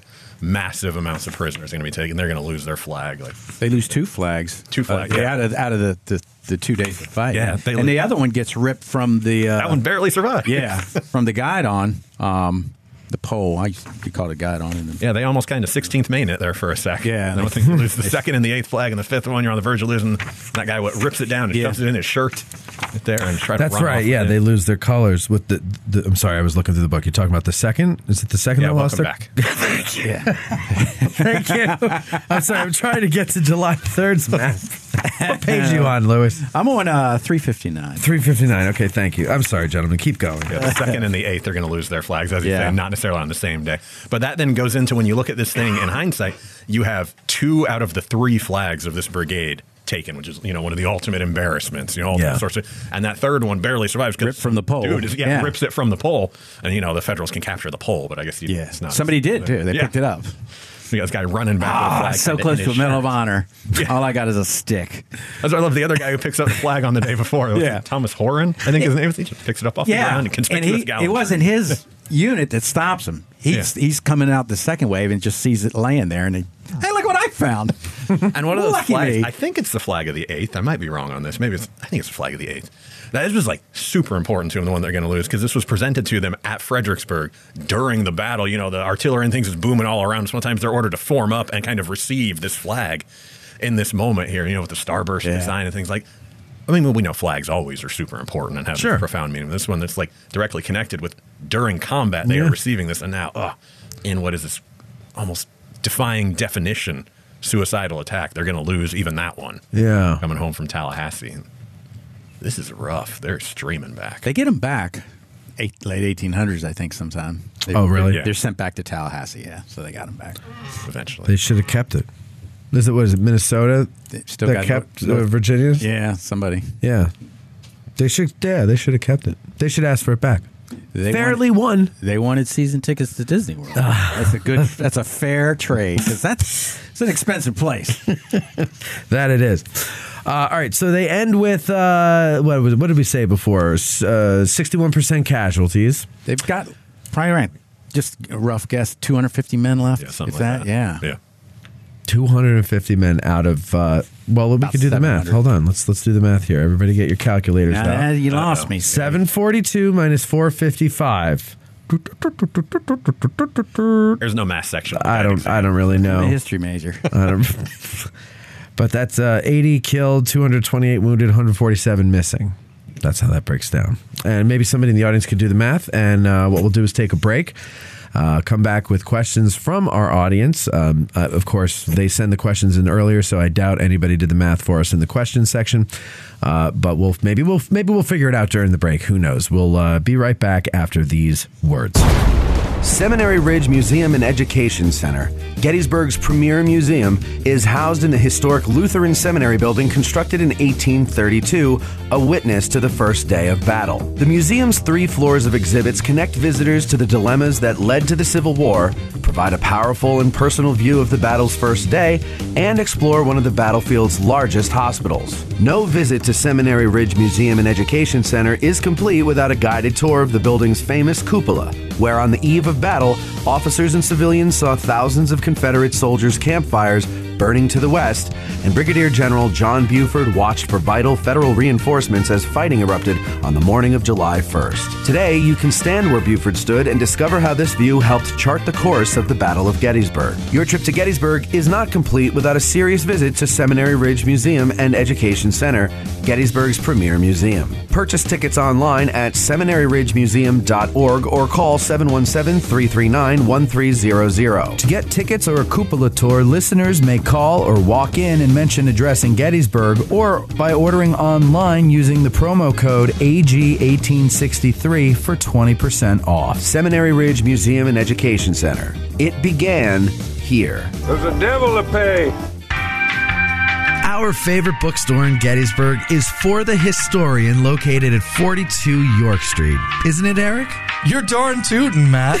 It's because they have the best selection of Civil War books in Gettysburg, both new and used, and online they have even more books to choose from. But Matthew, what if the Civil War is simply not my thing? Not a problem, my fine four-fendered friend. This is For the Historian, after all.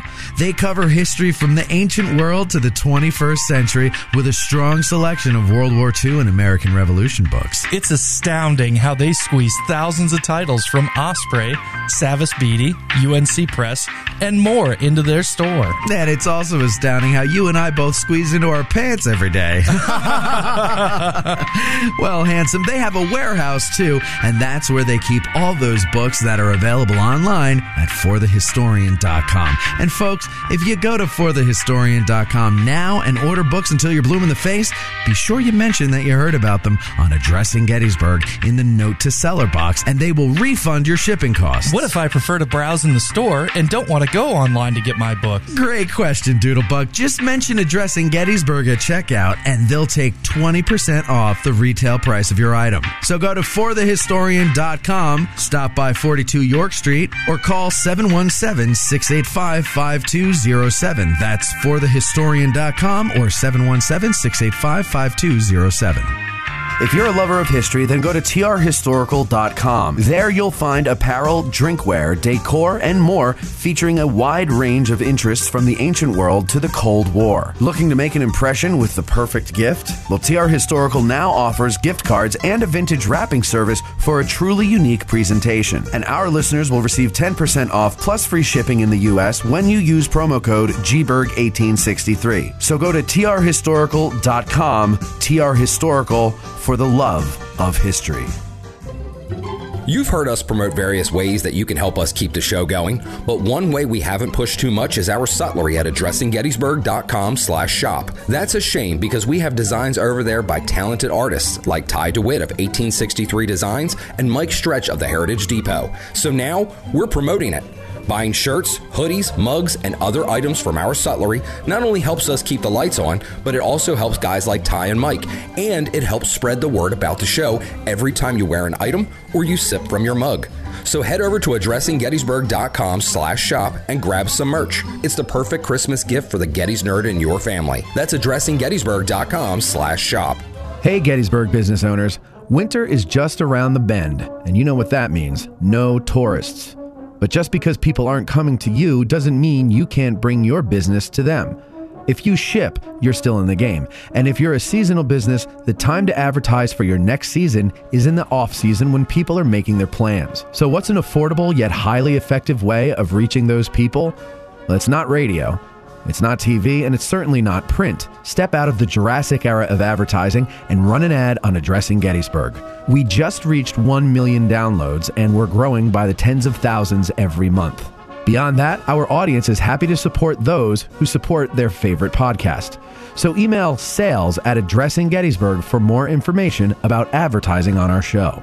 We look forward to helping your business grow. That's sales at addressinggettysburg.com. You're listening to the Addressing Gettysburg podcast with Matt Callery. All right, and we are back with uh, Lewis Trott and Kevin Bryant talking about the Florida Brigade. Uh, Kevin, remind me next time I have you on the show, I should have a helium tank in here that I require you uh, you use before you speak. I'll make sure to remind you. See, that's that's good. You sound like Herbert on Family Guy there. hey, come here, muscly arms. Your thick, creamy thighs. Okay. I'm done.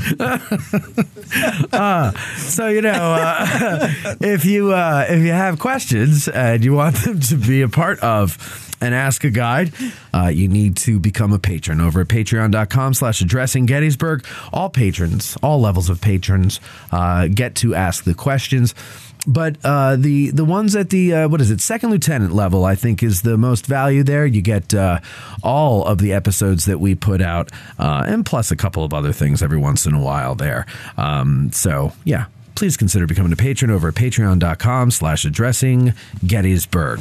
All right, we're going to start off with Brian Durenick, and he says, Can your guests talk about the controversy and criticism that Ambrose Wright had uh, caused towards the lack of support on his brigade's right from Perry's brigade during the attack on Cemetery Ridge on the evening of July 2nd, including the refuting of Wright's claims by Colonel Lang and Adjutant James B. Johnson immediately following the battle.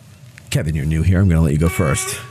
Yeah, so at, almost as soon as the battle is over, Ambrose Wright is going to begin issuing these statements and some of these reports and letters that Floridians did not go that far forward, that they were the first to fall back. He's going to be pressed on some of these issues. Say, well, they went to the Emmitsburg Road. They didn't go any further. Basically, Ambrose Wright is just slamming Lang's Floridians all along, saying they're the reason we failed. Look how far I made it. And then I found myself exposed on both flanks because Florida left me hanging. Uh-huh. That's the first version of at least this series of attacks that makes its way into a lot of the media. The time it's picked up in newspapers all across the South that the Floridians didn't go forward far enough. The Alabamians did, the Georgians did, but Florida left them hanging, and therefore that Hmm. is why Robert E. Lee's master plan completely collapsed. Florida always getting the blame. And he he goes further than that. He you know he blames Anderson for a lot of stuff, rightly so, I guess, to a point. But it, it's it's such a big deal that Anderson wants to have him court-martialed, wants to have Wright court-martialed. Really? So they have a you know this war is still going on. Uh, sometime during the I think it's the fall of '63 that they have this proceeding and stuff. But um, back to the point, um, Lang I think it's Lang who writes a letter that's published in the Richmond Enquirer refuting all this. I think it's July 26, maybe. Yeah. So, right, a few, few weeks afterwards, you know, we were there. You know, we mentioned it earlier. It's probably getting dark by the time all this is happening, and there's a lot of smoke on the field. He might not have seen them. They clearly don't go as far as Wright's brigade does. They don't get to the ridge, but um, there's a lot in front of them that's stopping them too. It's not by they're right. trying. It's and- not like it's a wide open plane and- for them. And, And Wright's just bitter. I mean, his, his men get there the way he sees it. There's no support, and it was you know, and made that effort sort of useless that we got there. What's the use of getting there if we're not going to be able to hold it? Uh, he's just a bitter guy uh, about the Floridians and Anderson, amongst other things, and so he's just venting. Um, you know, Wilcox does the same thing against Longstreet after all this. There's a lot of venting from all these people why we failed, other than saying, yeah, our, our big commander didn't do so well either. So, And it's it's taking it even beyond. It's Wright is not just saying we went the furthest. You know, you see those kind of measuring contests. Yeah, yeah. Who went the furthest? That isn't the issue. He's saying not only did I go further than the Floridians, the Floridians shamefully ran away. Like you know, Mm-hmm. they didn't even try to bring any honor to this field. So it's not just this question of I was slightly better than you. It's like you failed in every aspect Yeah. of it. And Lang going, especially remembering what we've been talking about, the tragedy involved in these moments, the level of loss that they've seen. Lang goes back to hit Anderson, the division commander, and is like, dude, like bail me out here. You know what he's saying is fundamentally wrong. Right, right. And Anderson's going to be issuing the statement about, you know, the gallantry of the Floridians and they're advancing forward. And like Lou was saying, you got that court martial coming down where this Yeah. is going to be a part of that issue. Floridians are incensed. Right. Because this is the version of the Battle of Gettysburg, at least on day two, that is making it back home. That they are among those who are responsible for the failure or for the defeat. Yeah. And Yeah. They, they probably crossed the Emmitsburg Road first. So they're probably getting more fire from Cemetery Ridge before Right, Wright's before other brigade- people take it from them, yeah. And so, you know, if if Cemetery Ridge is going to hold, they're going to fall back first because they're they've been engaged longer than Wright's brigade, and Wright it just lacks all context. Yeah. It's like him commenting on something that happened in Devil's Den. Oh, the Texans didn't do good enough down there, or they brought that loser Arkansas regiment with them, and that's why they lost. He doesn't see that, so he. I don't think he has context about what's going on around him. Other than on his left, there's nobody other than one regiment. That's clear. But uh, with the darkness and the smoke and all that contributing to it, Floridians attack first before um, Wright's brigade crosses the road. Therefore, they're going to fall back first. That's what he may see, but he doesn't see the entire context about what's happening. He's just bitter. He's just a bitter old guy just wanting to sling blame anywhere but the Union Army beat you. Yeah. I mean, that's what it boils down That, to. yeah, it really does. They whipped your butt. Yeah. and he's going to be pressed on that front, right? As some of the guys, they're going to come back and get enough evidence and things from both the survivors, the veterans, Anderson. Wright's ultimately going to be like, yeah, you know, my bad, guys. There's a thing where it's like, you issue a retraction, sure, but like two percent of the people who saw the original thing It's like in a the court. It's like in a court thing when somebody says something, I object and strike it from the record. Well, everybody's We've already heard it. Yeah, It's the yeah. stupidest thing in the world. Yeah. The jury will ignore that testimony. Really? Yeah. How am I going to ignore that? But for, for Lang to have to take time to write a letter to the Richmond Enquirer a few weeks later, I mean, when there's more pressing issues, I mean, that's just the Southern Army and the Northern Army to a point also, but the Southern Army's a soap opera at times. They really are. Yeah. They, all these personalities and. Yeah. know, I, I think today's military can be a soap opera too because you still got egos trying to move up the ladder on the heads of other people.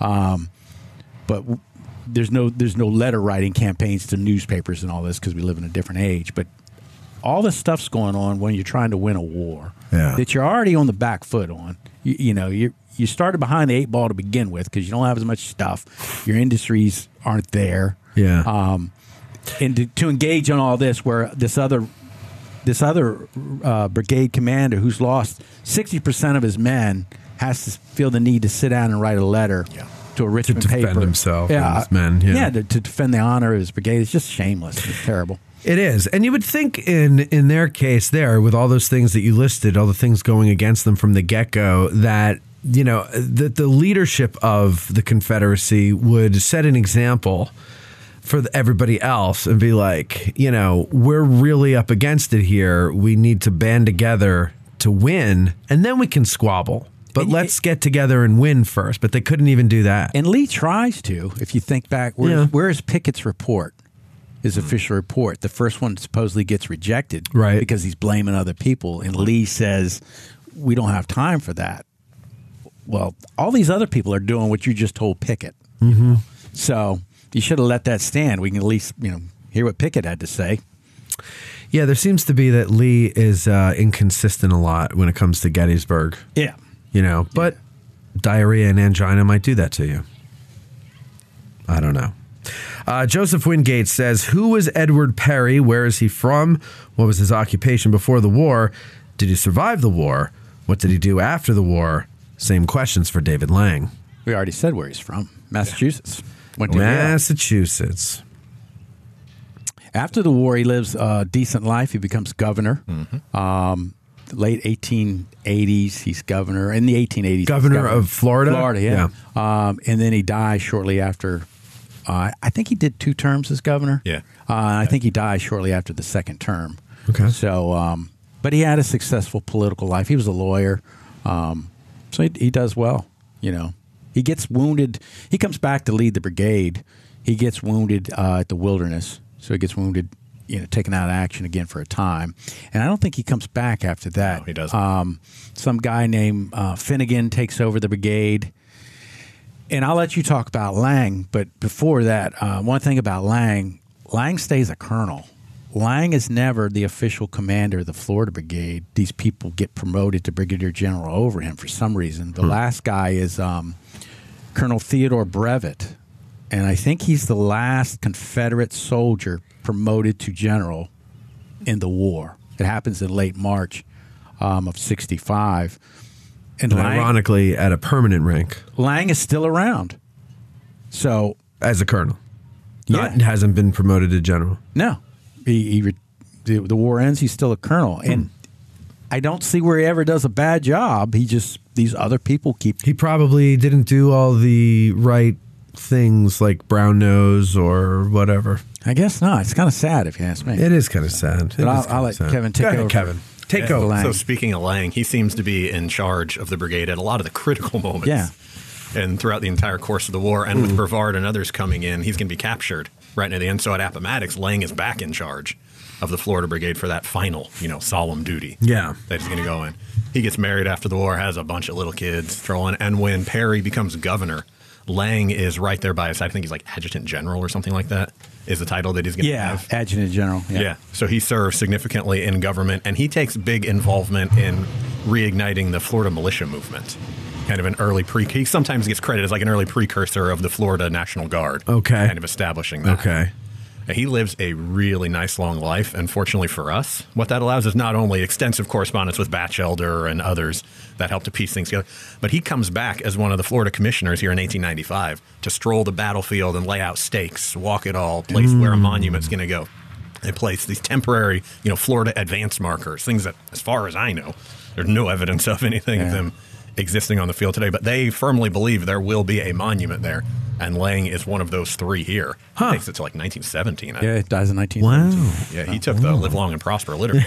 Got it well. What's, what's always interesting about those soldiers that live into the 1917 and 18 or beyond, it, Adelbert Ames lives much beyond. They get to see World War One, Yes. and I wonder what they think about that. I always that's wondered that too. Did you ever see that old film clip? I'm assuming it's from the 75th anniversary here. Uh, no. Well, I don't know what it's from, but it, there's a Civil War veteran with a, at the time, currently sir, or with a contemporary soldier, um, World War One era, and he's showing him a water cooled machine gun. Have you ever seen this? and I just it's a very short clip I've seen. I, I don't remember where I've seen it several places, but so it's out there.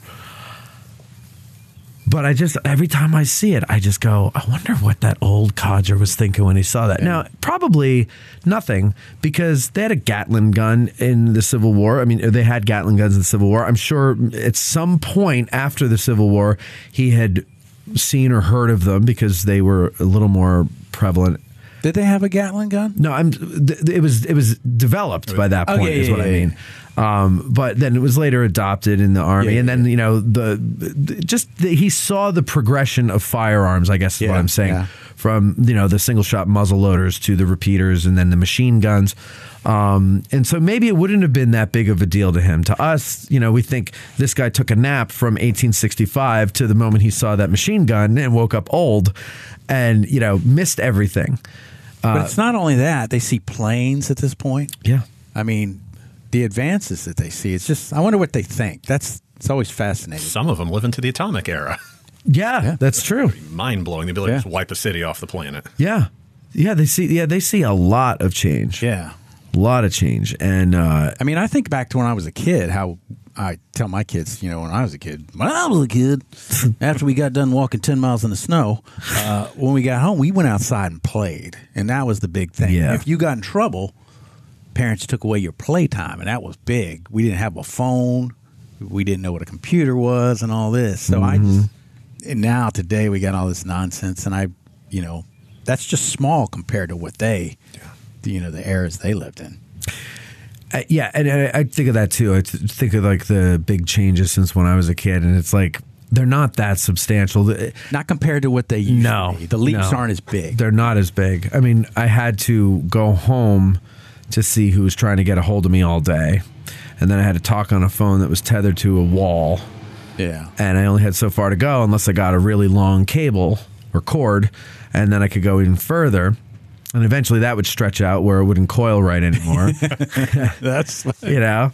And uh, and you know, if you called someone, it was busy, and then they developed call waiting, and then you know, but uh, but that was kind of rude.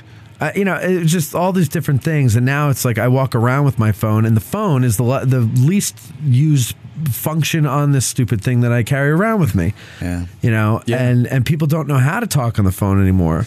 They prefer to do text message, or they they they'll text you and you call them, and they reject the call literally a second after you, they texted you.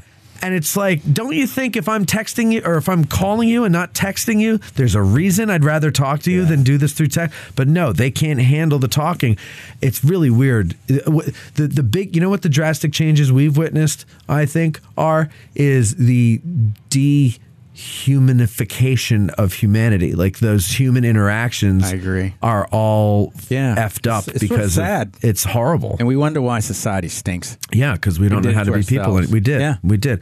We, they put this beautiful little drug in our hands. Yep. And we all said, "Give me more. Give me more. Give me So more." So in 50 years, people are going to have neck problems because their their heads bent over yeah. all the time. You and know? carpal tunnel. yeah. Yeah, I know. I know. It's terrible. But here at Addressing Gettysburg, you can always slink back into the past with us 180 years. And if you ever decide that maybe someday you want to actually experience the past, what can you do, Kevin? You can get out of the car. Let's uh real quick. Yeah. There was another Florida brigade, the 9th, 10th, and 11th. Okay. They're later on. Um, but this Florida brigade under Lang that we're talking about here at Gettysburg, it makes it to Appomattox.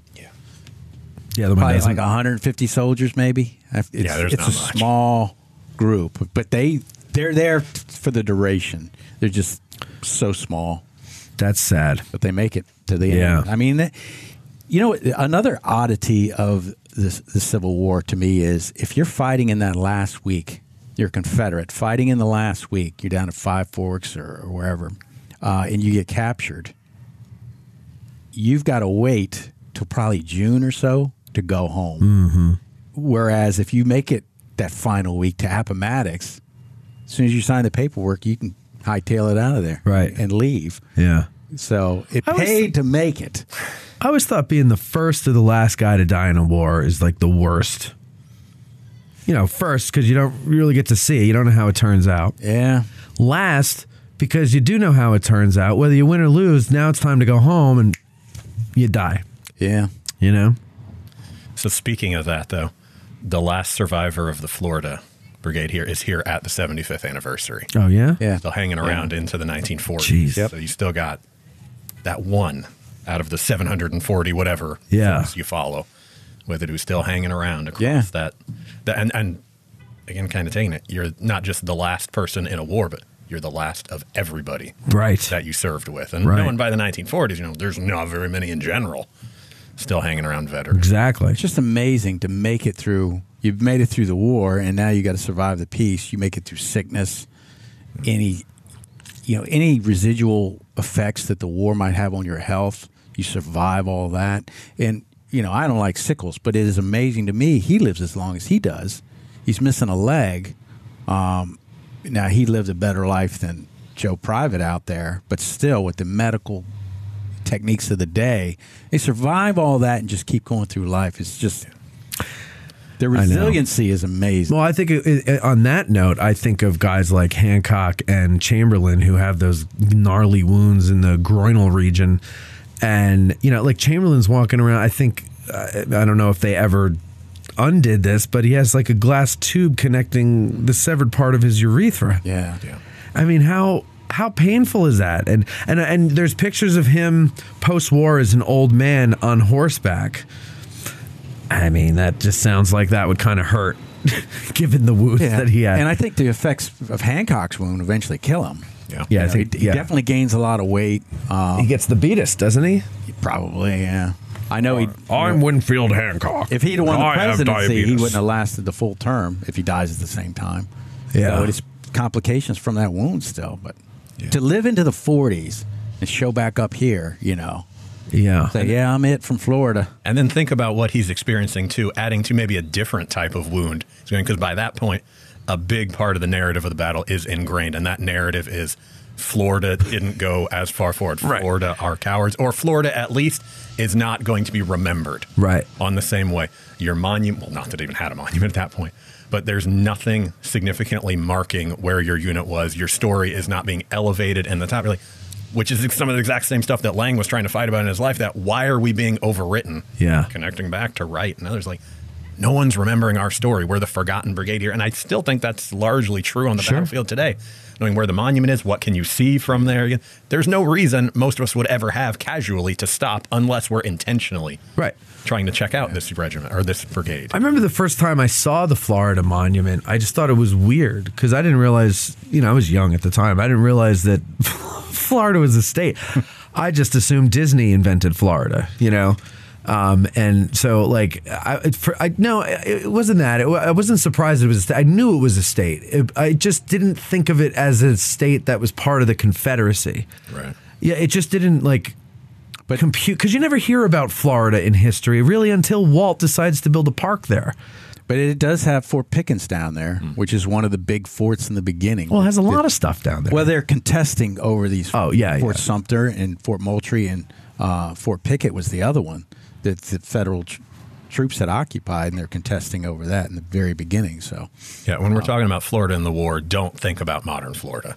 right. Like it's completely different, sort of everything across the spectrum. Sure. Well, that's the point. Yeah. It's, Yeah. like you were saying anybody before, it's the panhandle and just south of Georgia. It's not all that other. people are surprised, though. Oh, we didn't talk about the one guy. Uh, people are surprised that Florida was here. Well, you and that was the second thing. Yeah. Not And- only were they part of the Confederacy, that that surprised me, but they were here because. Yeah. Until that point, now I'll admit, at that stage, I don't know if I had even read one book about the battle yet. Like I was still early on post movie uh, viewing uh, years, like maybe the first two or three years. So I didn't really know much about anything. But that that Florida was here, yeah, it just seemed weird to me. It's akin to, to me, in my mind, it's akin to you keep driving down uh, Confederate Avenue, and on your right pops up this giant monument to Arkansas. Yeah. Yeah.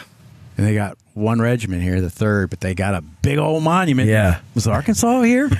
Not too many people talk about Arkansas. You know Right, what I'm saying? right. Yeah, that's a So, good uh, point too. Yeah. Uh, we didn't talk about the most infamous soldier. Yeah, we're gonna get the- in trouble if in the- mention it. in Oh, I was gonna, I was gonna say because we did an episode on that, and I meant to do that before, but I got sidetracked. Go ahead. So uh, there's a soldier who happens to be named Lewis. Uh, not related to me. It helps me remember his name though. Uh, Lewis Powell, and he is um, he's wounded probably on the second day, I think, in his right hand. And he becomes a prisoner of war and he gets shipped off to a hospital in Baltimore. And there's a nurse up there with Southern sympathies that helps him escape. And he leaves that hospital. So he never makes it to a POW camp. And then he heads down to where I live um, in Northern Virginia and rides around with John Mosby for a while in 1864. And eventually he leaves that group also. But in April of 1865, he winds up in this group of uh, individuals, shady type, hanging out at Mary Surratt's boarding house, um, named John Wilkes Booth. So when they plot to basically decapitate the federal government, because it's not just Lincoln, Lincoln gets killed, but they're going to take out Grant. But they see Grant leaving town that day to go visit his kids in New Jersey. They want to take out Johnson. The guy supposed to do that gets drunk and never does anything.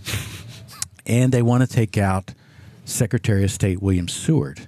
And that task falls to Lewis Powell, now going under the name of Lewis Payne.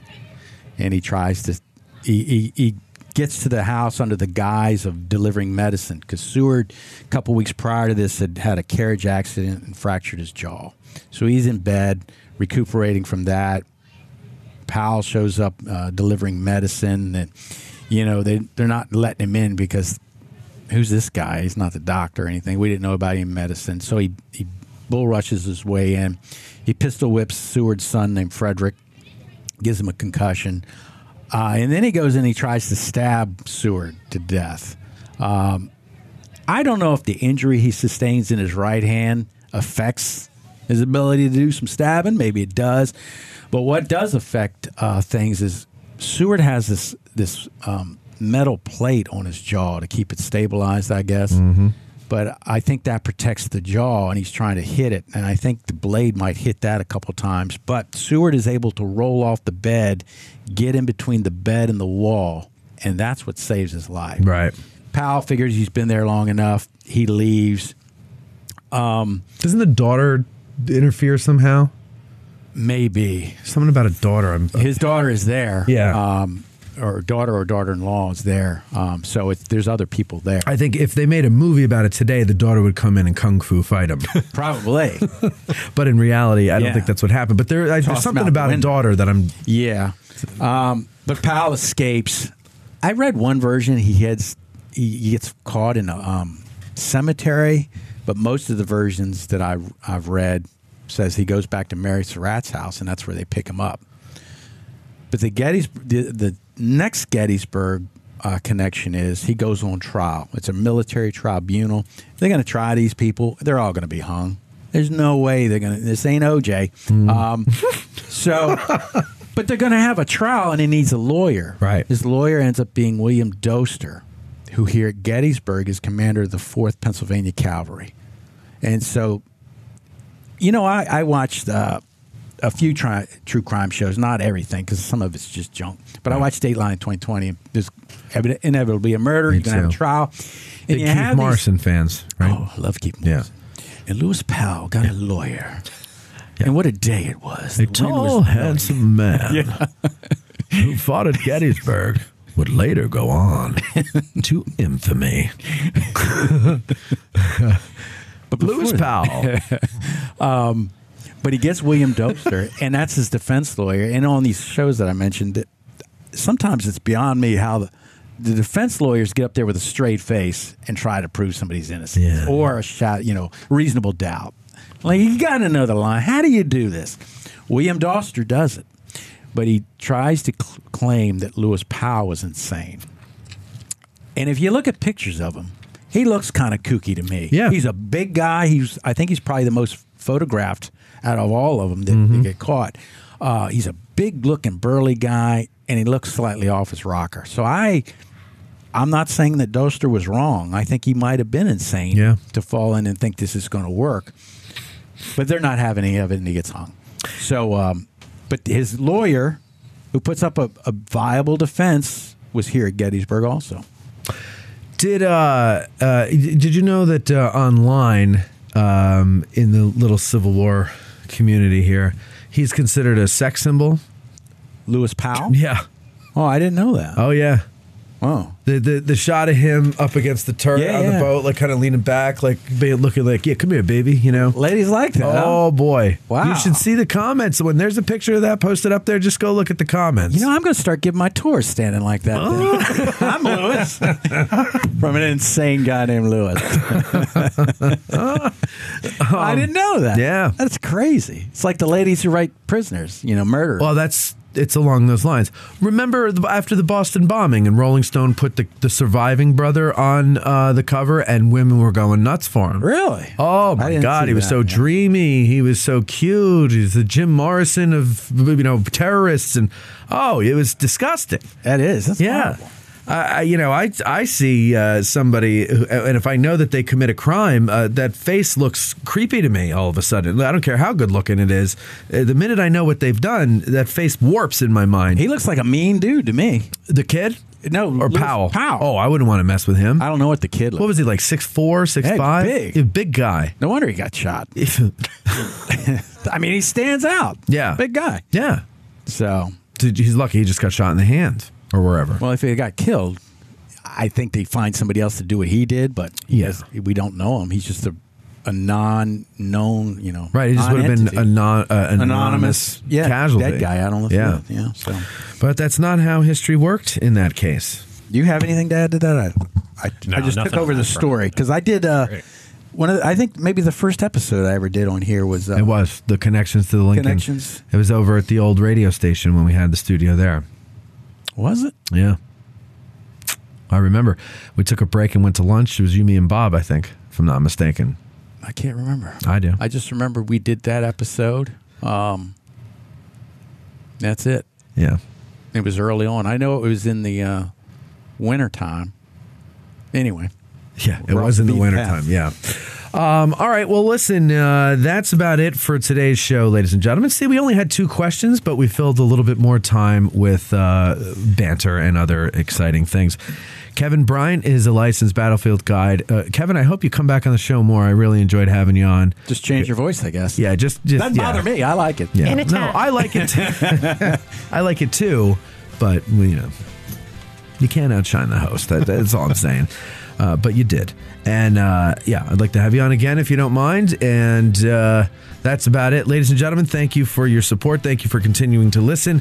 Thank you to our patrons for the questions, and we will talk to you guys next time. Goodbye. Thank you. All right. Very good. Go good.